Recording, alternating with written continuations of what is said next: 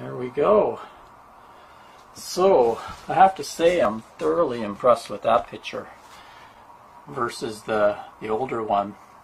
The older one I complained about uh, color saturation being off and kind of a, a pinkish hue to the picture, which is fine for a backup camera, but this one is really nice. You can see that truck coming in there. And the sharpness is a lot, a lot more too, so. And you can also see up here right now, I'm actually recording. That's a little uh, recordable thing at the top. Right here is a little slot where I put my uh, SD card in. The others, so its big killer feature for me is as a as a rear view camera while I'm driving on the highway. I can see right behind me, and it's also a wide. It's got quite a wide angle to it.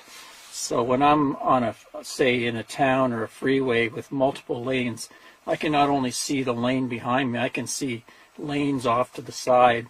So uh, I found with the, the new truck and the and the Ram mirrors, I have virtually no blind spots anymore because this camera shows me everything behind the rig, and my new uh, new uh, mirrors are really good at going all the way down the side and straight beside me. So I think that's really really helped safety wise.